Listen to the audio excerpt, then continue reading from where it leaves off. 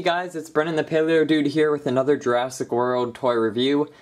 Today we'll be taking a look at the new Jurassic World Matchbox 5 set, and um, the name of this set by Mattel is Total Tracker Team, and this includes a InGen vehicle with a cage on the back. Um, from what I remember, this is from the Lost World, and it says InGen on the side of the vehicle, as well as the um, uh, what is that one called? That the larger vehicle that blasted the gyrosphere out in the larger playsets. This is basically a smaller version of that.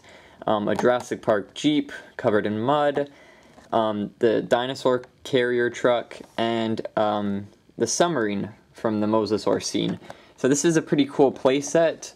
Um, it includes vehicles that um, kids could definitely reenact a lot of scenes with. You've got two dinosaur catching vehicles, um, an original Jeep, and then um, something that you can really transition from the new movies or the old movies. And this is also a great set for doing photography as well.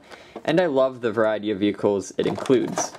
On the back, you can see it has little renders of these vehicles, and each one separately, JurassicWorld.com, some other large bits of information.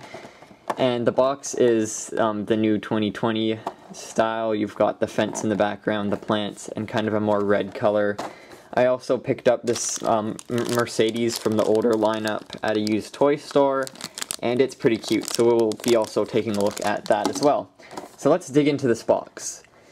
I've recently started getting into collecting the Matchbox vehicles. Um, they started to grow on me more and more. Same with the mini packs but I'm not sure how to open this box. I've never bought something like this before. I'm just to go from the bottom. It seems like the easiest way to go. And just pull the tray out. Discard the packaging. Wow, that is so cute. It almost looks like a chibi car. Very tall. And you can see it's got a cage in the back. You could possibly put like... Oh, and the cage comes off. Look at that. Wow. That's a cool play feature. You can have the vehicle without the cage, and then you can put the cage on. And the cage is kind of rubbery, it's kind of like plasticky, so that's a cool feature. Let's take a look. The back is hollow on this one. Um, the windows are not see-through. It's got a cool grate. There's some nice paint jobs on these vehicles. The colors really stick out. You kind of get a, a team-like vibe from it. Uh, same with the windows on this vehicle and I believe this might also come off, yes. So if you want to put a dinosaur in the back, you can remove this and have the dinosaur standing there. I actually have some on hand, so let me just try that out. It, it sort of fits if you squish the legs in, there you go. You can put a little dinosaur in the back of the vehicle. So that's cool that these vehicles come with removable parts, to really adds to the playability.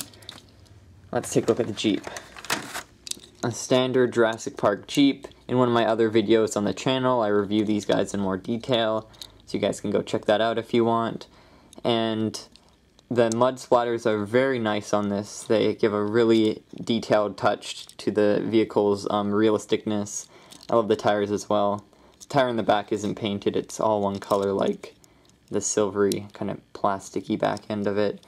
And I love the attention to detail on the front of the hood or not the hood, the um, the windshield. Now let's take a look at this. I've never personally owned one of these. Um, it comes with rubbery arms, so these are movable. They're not posable, but you can move them around for sure. The inside comes with a little bit of detail. You can see the little chairs in there. Has a um, a metal pillar holding it up. Um, it's got little turbines on the back or um, things to propel it pull to um, push it through the water. It comes with little lights up top and down below. These ones are painted. And then it comes with the little um, floaty thingies on the sides as well. This is a nice little, um, kind of based off the toy, the larger one, in scale with the figures back there. And it's got some better details than that toy actually has. A little bit more movie accurate, which is nice. So yeah, this is a cute little team. Um, really great for reenacting scenarios where you're going to the island to collect dinosaurs and save them. Now let's take a look at the Mercedes. This one was featured in Jurassic World. Um, let's open it up. I think it's the one Claire... No, Claire doesn't drive this one. Where was this one seen? Somewhere in the movie. It definitely gives off that Jurassic World vibe. Not Fallen Kingdom, but like Jurassic World because most of the vehicles had this like gray and blue paint job scheme and it really screams that as it's also got a very square look to it. The windows are a nice color, they're large so you can see in, see all the seats. It's got a Jurassic World logo, which actually has um, the T-Rex on it. They put all that little detail on there. And it says, what's that little, for official use only. So they've got little numbers as well, kind of like the Jeeps have on the back ends. Um, so that's neat. So you can see the Jeep. There's a number right there. And I believe all the vehicles come with numbers. We've got 21 and a little pterosaur decal as well.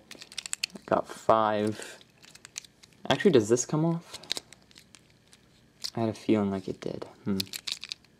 Okay. And I'm not sure this one has a number because it's more of the Lost World vehicle. Okay.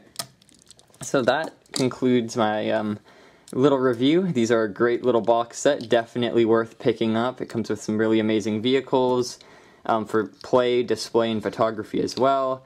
And I definitely will be picking up more of the vehicles when I see them, as they're really characteristic, and I love the looks of them. So yeah, I hope you guys enjoyed the video, and I hope to see you in the next one. Bye-bye.